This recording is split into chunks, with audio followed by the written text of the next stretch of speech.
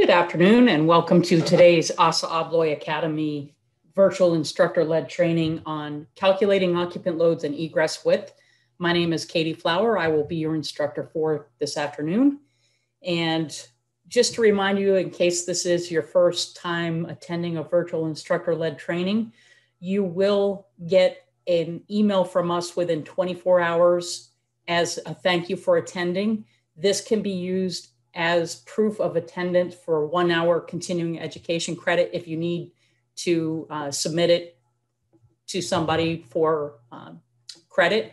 And if you have any questions, there is a Q&A on your Zoom control panel. You can type in your question. I'll be monitoring that throughout and I will save some time at the end for any questions that you may have. Also, this session is being recorded and will be available on the ASSA ABLOY Academy website. If you click where you registered for the class, the virtual instructor led training tab, on the top right hand corner, there will be a link to previously recorded sessions. And that way you can review as often as you need to or would like to. First thing we'll talk about is the difference between codes versus standards. A standard is a set of criteria by which everything else is measured or compared. For example, in our industry for commercial doors and hardware, NFPA 80 is the standard for fire doors and hardware.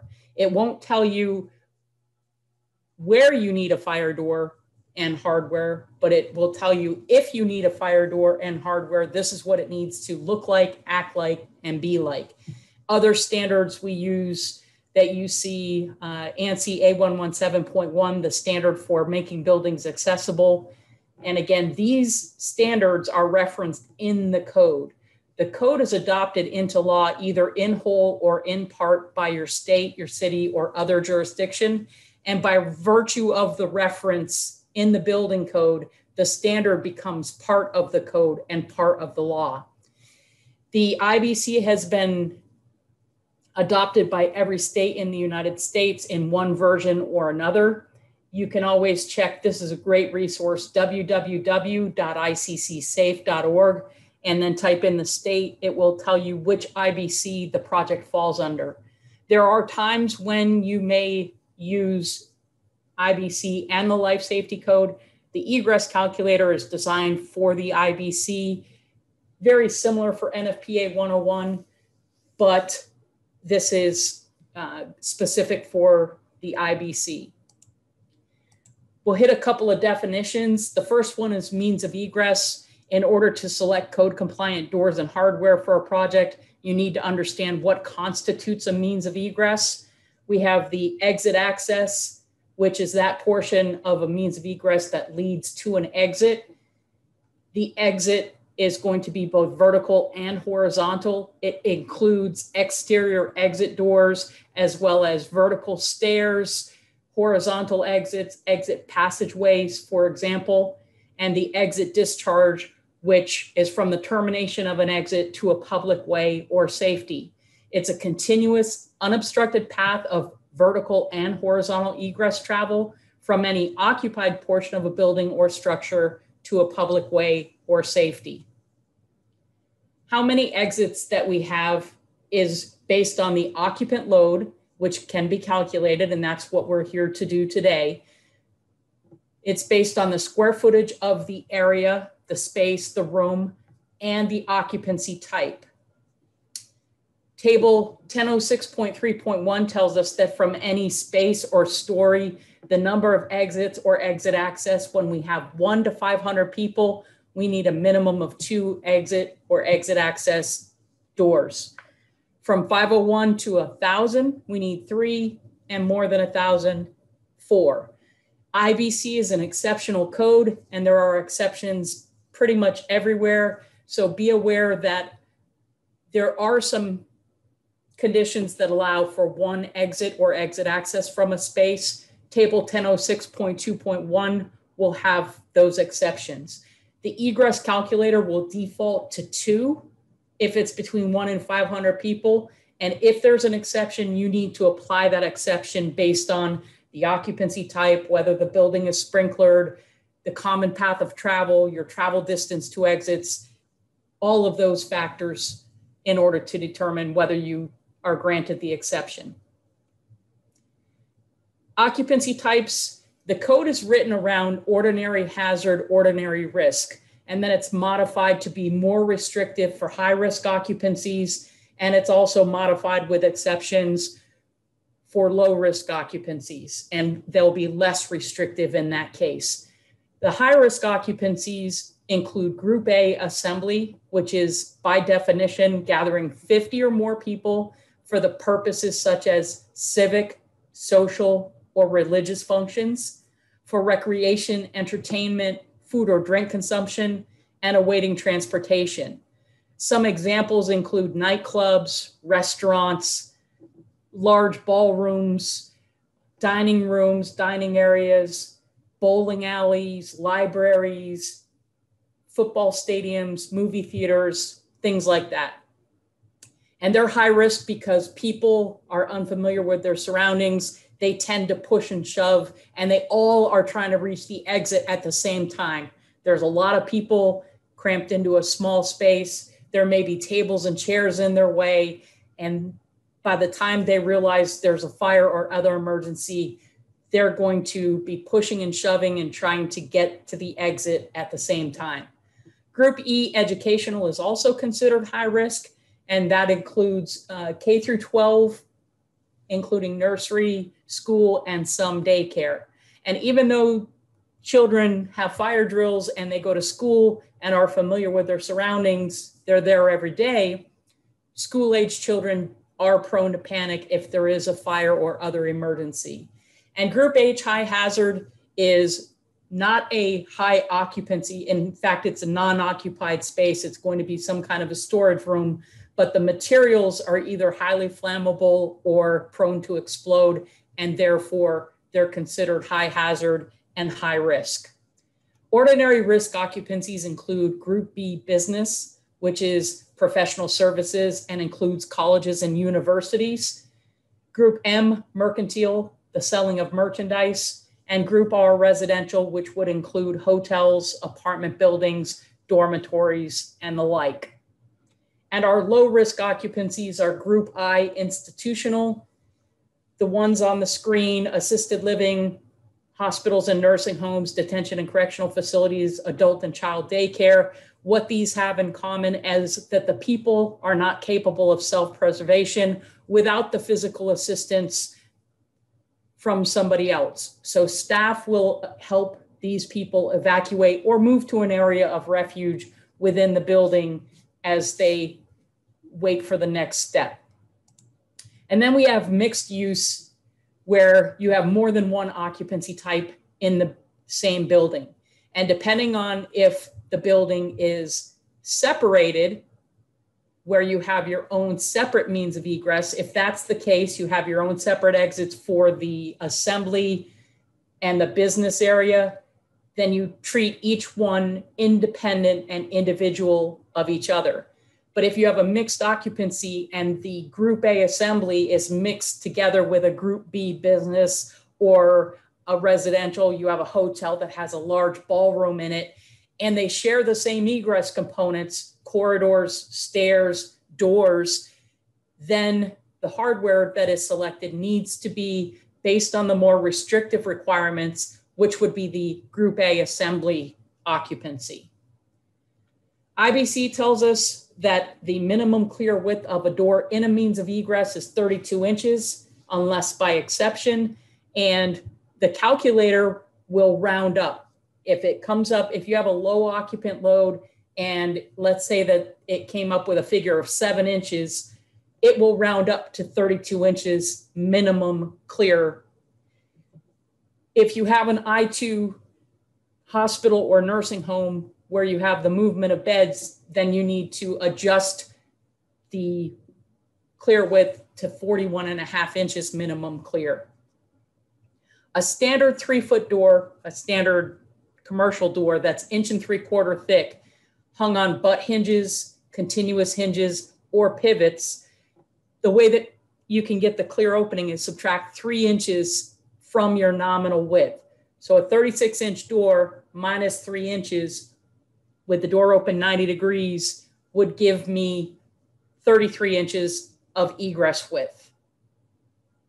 If you have a 48 inch leaf, subtract three inches, you have 45 inches of egress width. Egress doors shall be of the pivoted or side hinge swinging type unless by exception, and there are many exceptions, but we'll be talking about swinging doors today.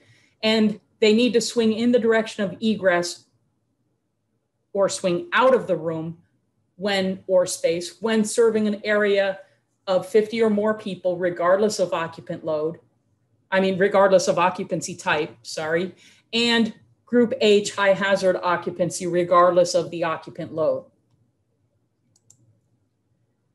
Next, we'll learn how to use the calculator. This is the new ASSA ABLOY egress calculator website, and I want to show you how to navigate the first couple of screens. On the top left, there is a menu.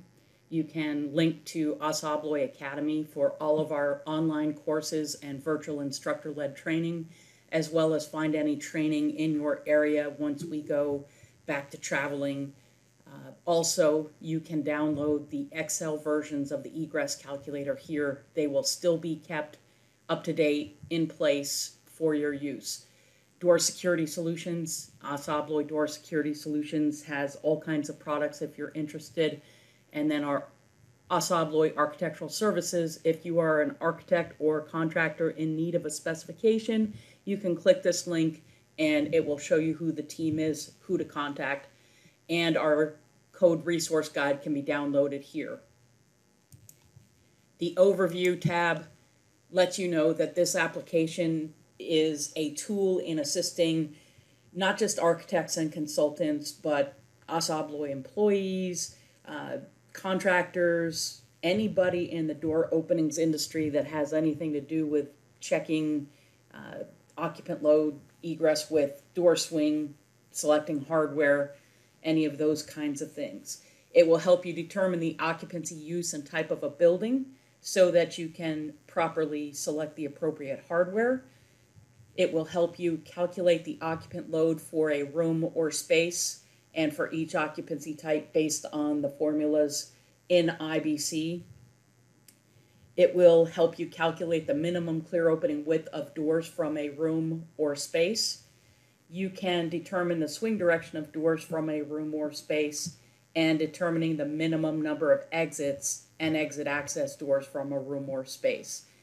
This tool additionally has notes that will help you select the appropriate hardware.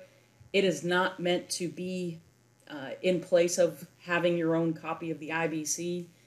You still need to have a copy of the code book to look up the references and to apply things like travel distance to exits, separation of exits, uh, common path of travel, and things like that.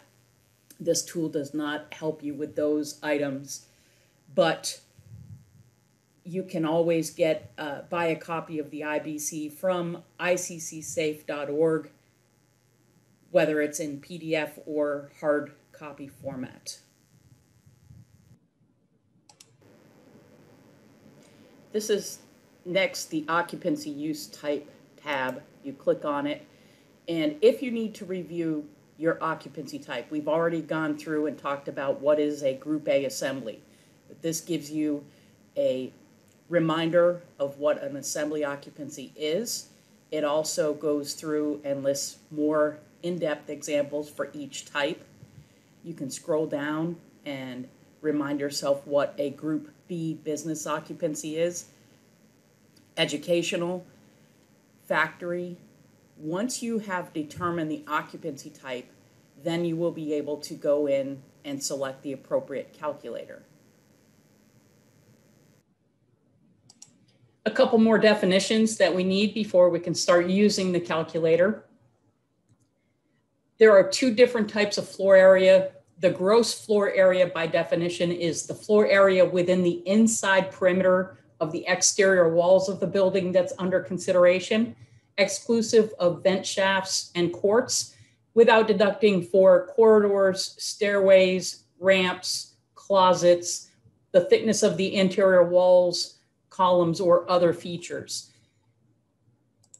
and the net floor area, which is the actual occupied area, not including unoccupied accessory areas such as corridors, stairways, ramps, toilet rooms, mechanical rooms, and closets. In Chapter 10 of the IBC, 1004 deals with the occupant load. And the design occupant load is determined by this section. It is the cumulative occupant loads for intervening rooms and spaces. And areas that don't have fixed seating are based on table 1004.1.2, which is what the egress calculator is based on also. And there are exceptions where, where approved by the AHJ, the authority having jurisdiction, the actual occupant load shall be permitted. For example, classrooms in educational occupancies for health safety reasons are required to have a larger per square foot per student so that uh, they don't pass germs amongst the, the students. And it gives them plenty of space to be able to do whatever they're working on. But if you were to calculate the occupant load of that size room, you would come up with a much higher number of students than what is actually going to be in the classroom. And so, for example, if 35 is the maximum number of students in the classroom, but the calculated occupant load is over 50, the AHJ could allow a sign to be posted, maximum occupant load of 35, and you would only need one exit access door from that room, and the door could swing in and would not need an exit device. The drop-down menus in the egress calculator are the same as the ones on table 1004.1.2 in the International Building Code. They are just arranged by occupancy type, but that does not mean you can only use that occupancy type for that function of space. For example, the educational occupancy calculator is typically educational as K through 12, including nursery schools and some daycare.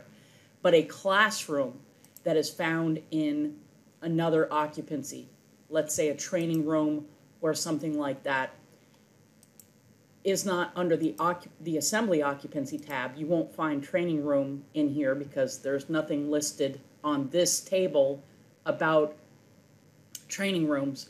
But because it's a educational classroom area, you would use that calculator to get the appropriate number of people. And then you can go from there. If the number of people is over 50, then it does become Group A assembly and would become a mixed occupancy with the business or the residential or whatever else it's being mixed with. But if we look at the assembly occupancy calculator, you see assembly here.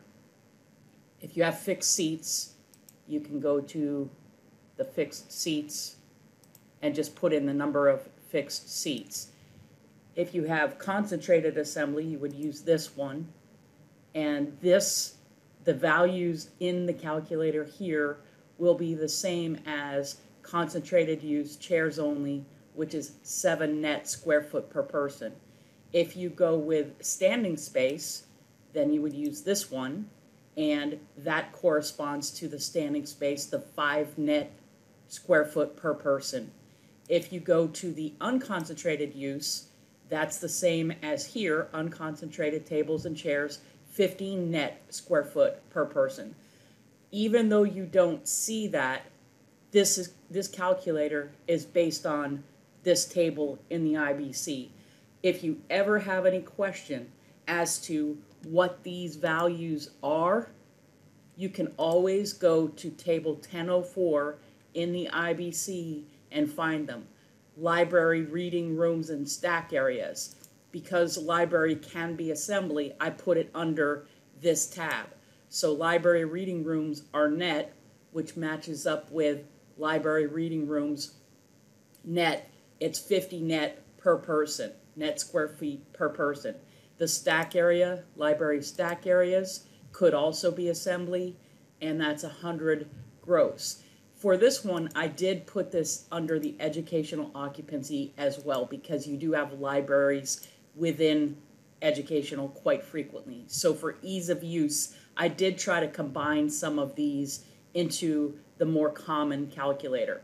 But if we go to mercantile, for example, mercantile gives us area on other floors. Mercantile, that would be the 60 gross square foot per person our other option would be the storage stock, uh, stock areas and shipping areas, and that would be following this storage stock 300 gross per person. So if I were to type in 3,000 square feet and calculate, my occupant load is 10, which it should be because 3,000 divided by 100, I'm sorry, 3,000 divided by 300 gives us the 10. And that's exactly how this calculator works. It is based on the area in the table 1004.1.2 for calculating occupant loads. We talked about mixed use a little bit earlier. Some areas that could be red flags in business occupancies or other types of occupancies that could be considered Group A assembly, which would have the more restrictive hardware requirements, you would use the unconcentrated assembly calculator if you have a room that has tables and chairs, a conference room, lounges, balconies, rooftop patios, and dining areas. And then if at 50 net square foot per person. If the occupant load is over 50, then it is assembly and you would treat the hardware based on assembly occupancy. For concentrated assembly, like a multi-purpose room, a meeting room, a ballroom, or a banquet room, those could be just chairs only, and therefore you would use the concentrated assembly to determine your occupant load for those types of spaces. Those that you would use the educational calculator, which is 20 net square foot per person, would be for classrooms, training rooms, and lecture rooms in other types of occupancies, like a business occupancy, or maybe you've got a hospital that has a training room or a lecture room there. And then the educational calculator for training shops, labs, and other similar vocational use may be within another occupancy type. This is a hotel, and a hotel in and of itself is a residential occupancy, R1. You have your guest rooms, this is the first floor. But I want to look for any red flag areas. And in Bluebeam, if there's no dimensions, these dimensions don't really help me tell, tell how big this fitness room is, the fitness center. And if I want to verify this in my egress calculator, First, I have to calibrate. If you go to tools and then you come down to measure, you can calibrate the scale. I know this door is three feet wide, so if I click there and click there, then I can input that it's three foot and then hit apply scale. And now I can go back to the tools and measure and get the area. There's two ways I can get the area. I can just click on the corner and drag it out to the other corner and let go. And that tells me 678.55, which a fitness center, if we use the drop down, is an exercise room. And without sprinkler system, I can put in my room square footage. I'm just going to round it up to 679. Hit add. And I can see my calculated occupant load is 14, which I know based on experience that with 14 people, this door can swing in and I only need one exit access door, which is what this room has. So this is not an assembly occupancy. I'm less than 14, uh, less than 50, I'm sorry. And I can hit calculate and it tells me that I need two exit access doors, 32 inches minimum clear. The door can swing in or out.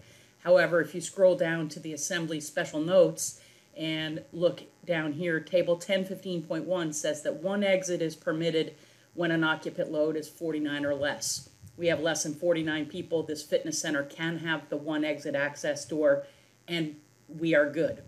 But now I want to check to see if there's any other possible red flags. And as I scroll down, here's a meeting room. Now this meeting room could very easily be assembly. It's got two exit access doors, which leads me to believe that it is big enough. We can reset our calculator here and I've already got my calibration, so I don't have to recalibrate again. I just go to measure and area. And a meeting room can be considered either concentrated assembly or less concentrated assembly. And since a meeting room could be used for either purpose, we have to go concentrated because there could be times where somebody rents this meeting room and all they've got is chairs and they have a lot more people than if they set it up more like tables and chairs we have to go with concentrated chairs only instead of unconcentrated to figure out whether this is assembly. Without sprinkler, it's still checked. I've got my square footage as 868 and hit add. And sure enough, I've got 124 people, which if I did this using unconcentrated and the same square footage, 868, I'm just gonna hit add, that's 58. It's still going to be over the amount for assembly. Either way, let's hit clear. Uh, well, we have to calculate, but let's hit reset because I don't want to have both of them in there. Let's just do for the concentrated. Uh, go back here, 868, hit add, and then calculate, which in fact tells me with 124 people, I do need two exit access doors, which I have. They need to be 32 inches minimum clear. These are three foot doors with 33 inches minimum clear, so I've got that. The doors do need to swing out, they do. Exit devices are required, and then any of my special hardware notes are down here. So if I'm writing the specification or detailing this, or if there is a hardware uh, specification written, and this is anything other than an exit device, now if it's push-pull, let's say this door doesn't need to lock, push-pull would be acceptable if it's a non-fire rated door. But if it's a fire rated door, this door needs to latch and an exit device here and here would be appropriate. But we follow our path of egress, that means we also need exit devices on this because we've got a mixed occupancy, residential mixed in with assembly. We also have this breakfast area, which looks like it's large enough to be considered assembly. So between these two, we we definitely have mixed occupancy. This would need an exit device. These doors would need an exit device if they latch. This one for sure because it's an exterior door. And then to keep continuity, uh, these doors on this end as well, even though they don't technically need it because our second exit is this door. This one needs an exit device. These sliding doors may or may not be factored into our egress capacity, but we have enough egress capacity with this one door and this corridor down here. But I would do the same thing for hardware and put exit devices here for continuity, symmetry, and the like.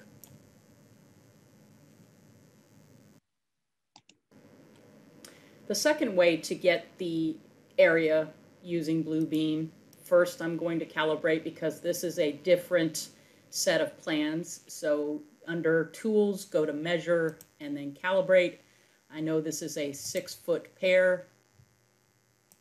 So I'm going to put that in here, apply scale.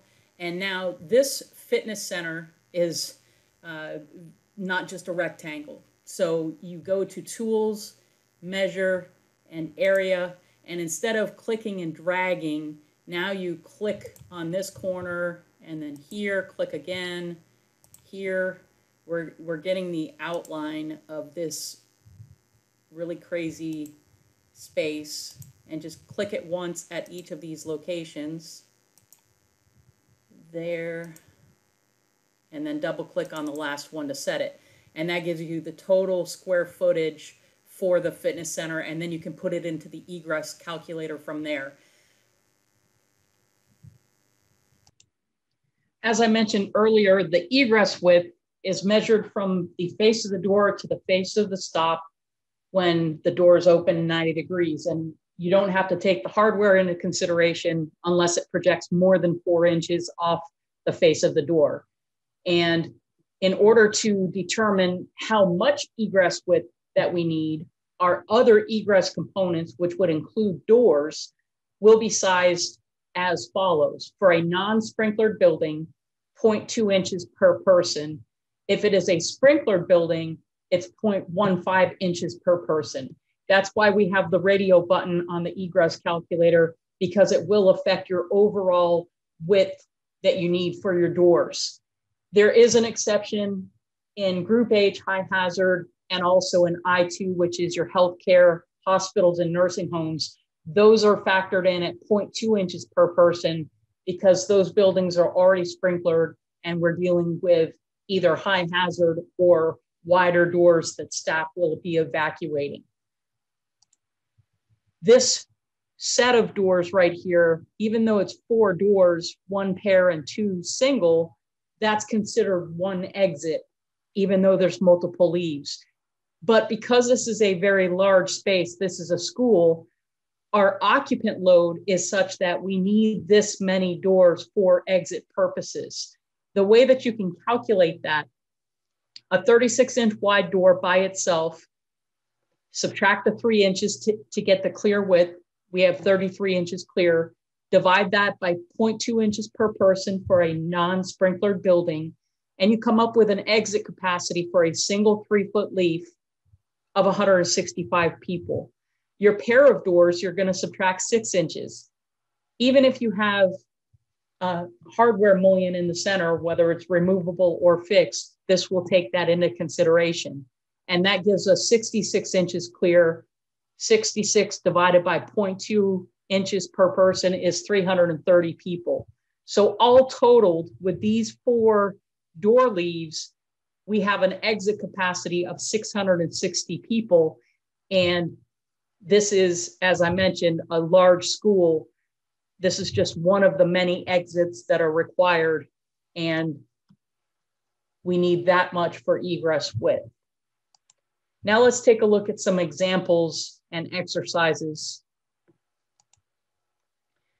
The first one is going to be a two story office building, which is Group B business. There is no sprinkler system, it's new construction. We don't have any life safety plans. The hardware specification is due in the morning and it's too late at night to call the architect. Just want to verify this training room and doors A and B that are three foot by seven foot. Make sure that if we need exit devices on these doors, then this door would have to change swing. And rather than assume, we're going to use the egress calculator to just double check real quick. In this exercise, we have an office building, Group B business, with no sprinkler system. And the red flag area that we're looking at is this training area. Now, you won't find anything under the business occupancy tab for training areas, so you have to determine what is a training room similar to in our table 1004 from the IBC. And as I had mentioned before, educational occupancy calculator has classroom areas and a classroom area is just like a training room. And so we have to use this to determine do we have 50 or more people? Once we have 50 or more people in this training room, then we do have to consider it Group A assembly. These doors would need to swing out. We would need exit devices on these doors, as well as any other path of egress in this office building that intermingles with that same path of egress. Because a classroom is used a little bit differently than other areas of assembly, it's 20 square foot per person. I will go over here and enter 26 feet for my one dimension. My other one is 33. I hit add and calculate. My occupant load is 43 people, which is significantly under the 50, and therefore I should be fine with exactly how the architect has this drawn. I need two exit access doors, 32 inches minimum clear. These are three foot wide doors. The doors can swing either in or out. This one swings out, this one swings in. They're both completely fine, and exit devices are not required. If I scroll down and I take a look at the special notes based on educational occupancies, Table 1015.1 tells us that one exit is permitted when I have an occupant load of 49 or less. And that is indeed the case. So I can have one exit access door from this space. I don't even need the two. I am in compliance. I can go forth with this project without exit devices on these doors, knowing that the quantity of exits, exit access, the widths, swing direction, everything is fine. An additional option, if I want to save this information, I can put the room name, drop down and select the date, put in the project name, and then I can save this information, download it into a PDF, and keep this in the project file for future reference. So if there's ever any question, why didn't you put exit devices on these doors? I can pull this up, and say that room was under 50 people, it's not assembly, I can have one exit and I did not need exit devices. You've got your justification for that in your file.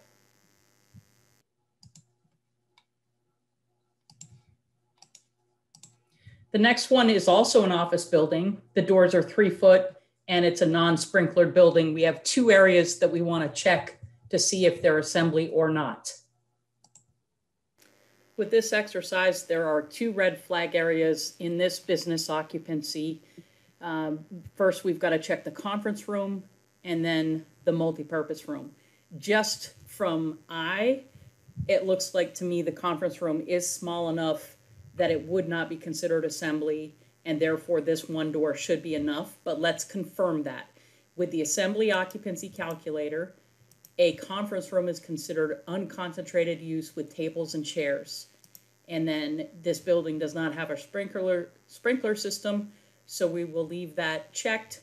And I've got 19 feet by, I'm gonna round the 26 up to 27, hit add and calculate.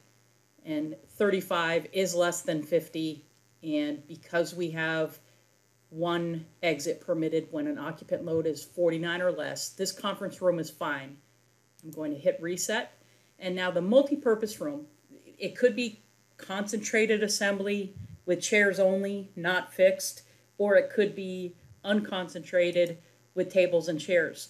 Because it's a multi-purpose room, we have to factor it based on concentrated use, worst case scenario. And you can see that there are two exit access doors, but the doors swing in.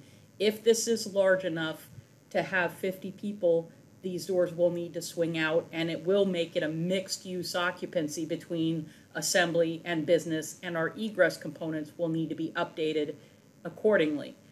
Let's input for concentrated use. Again, the reason we're doing that, a multi-purpose room, this is a big screen here. They could just have a bunch of chairs lined up in rows to look at some kind of video or something like that. And therefore, we have to use concentrated, put in our room size. It's 42 feet by 20. And you can go 20.1 or 20 point whatever, but let's just round up, hit add, and we have over 100 people. Calculate. I do need two exit doors, exit access doors, which I have. They need to be 32 inches minimum clear. These are three foot wide doors, so I have 33 inches clear. I'm compliant so far, except that these doors do need to swing out and they do require exit devices. I would have to inform the architect, can you please change the swing direction of these two doors? And then I'm going to have to put exit devices, not just here, but any path of egress out of the building. This is a one story building. The problem now exists when you swing this door out. If this is an egress corridor, now we have to pay attention to encroachment, which means that during this swing, this door cannot cut down more than half the required width of this corridor. It can bring up other issues, and this door can swing. You can't really quite see it, but there is another door right here. We may need to have the architect pocket or recess these doors instead of having them swing onto the corridor. They can swing out, but up against a wall or something like that. And another office building with no sprinkler system. The next exercise asks for this business area, which is in gross square footage, do we have the appropriate number of exits? Do they swing in the correct direction? And are exit devices required? We have door A, which swings in, door B swings out, and door C swings out. We go to our business occupancy calculator because the open workstation area, the conference room, and these offices, this is business use space. This conference room is way too small. It's not assembly. There is no assembly in this space. So let's take a look with business areas um, because it's not accessory storage areas. We want business areas.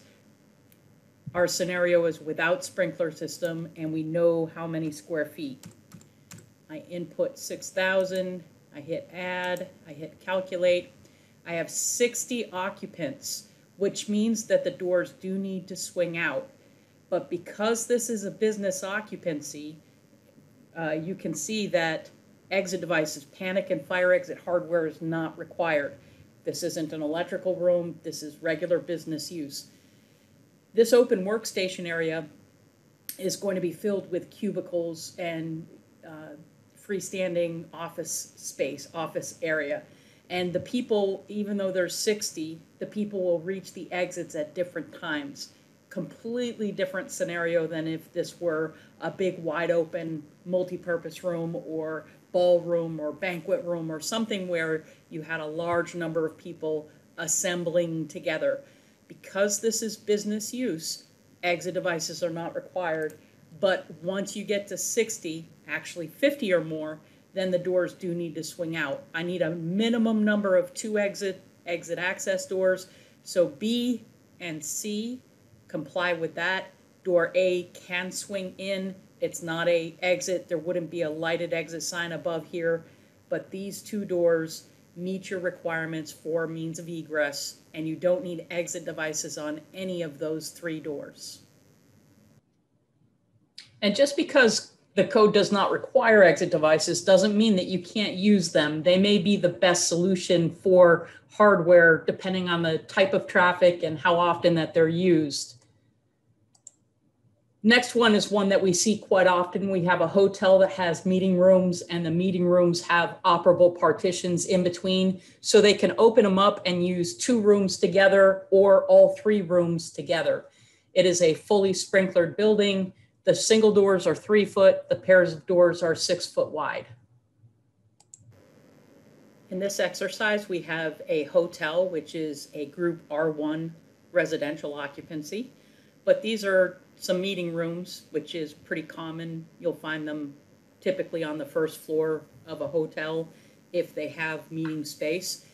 And we see the operable partition separating each one of these meeting rooms. The way that we need to calculate this to double check do we need exit devices on these doors is each of these meeting rooms individually and then what is the total when all of these operable partitions are open and they use it as one overall large space. A meeting room, if it's going to be assembly, if it's large enough to be assembly, would have to be calculated on concentrated use, chairs only, not fixed, instead of unconcentrated use. Because meeting rooms can be used in either configuration. You could have just all chairs, or you could have a combination of tables and chairs. So let's go with concentrated use. It is a full sprinkler system, so we need to check that. And our first room length is 26 by 42. So 26 by 42, and I hit add. Then I can add another function of space, which would be the second one. Before I do, I want to take a look. I've got 156 people just in this space alone. And I could hit calculate and see that I do need a minimum of two exits from this space, exit access doors, which I have one here and one here. My minimum is 32 inches. So I do not, with this occupant load, go over the minimum clear. This pair of doors is bigger than what we need, but I'm sure that it's symmetrical and it's probably needed once you get to the full space because of that, I know that these other two are going to be very similar. This isn't that much larger. I may have another 20 people or so, which will still be within the two exit access doors and the same parameters here. Let's go ahead and now add our next function of space. We've still got concentrated use. The next one is 32 by 42 and hit add. And then this, when I hit calculate, will total these together. We did have an extra almost 40 more people here. And if you wanted to, you could calculate it now and see that if both of these were open, this open and both of these used and this were closed, I would still need two exits or exit access doors. I still need 32 inches per exit access, but a total of 52 inches, 52.2 total between all of my exit access, which I do have. But let's add in the third one. It's still concentrated use. Our third one is 27 by 42. Hit add, calculate, and that one is 162. So each one of these rooms is very close to the same size, but now my total is 510. I need a minimum of three. When all of these partitions are open and I'm using it as one large space, I need a minimum of three exit exit access doors, which I've got one, two, three, four, five, and six. Each one needs two. We have it. The total needs three. We have it. The minimum clear per exit is 32 inches, and the total clear egress capacity width 76.5. My minimum main uh, main entrance, and since I don't really have a main entrance, that's why each of those is a pair. We could do that with a single four foot leaf, but this architect chose to go with pairs, which is fine. It exceeds what we need. And exit devices are required in every scenario because each one of these is over 50 people. And our access, our assembly special notes, we can see if we have certain types of hardware and what my IBC references are so that I could go look them up.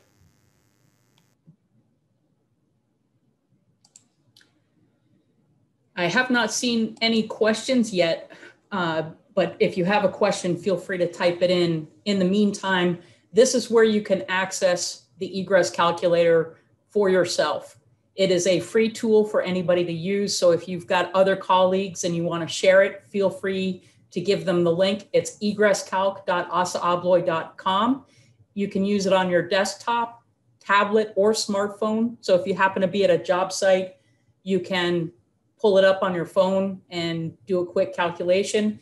It's based on the International Building Code. You can use it to calculate the occupant load, the egress width, the quantity of exits, the swing direction of exit doors, all with quick references to code compliant hardware listed at the bottom.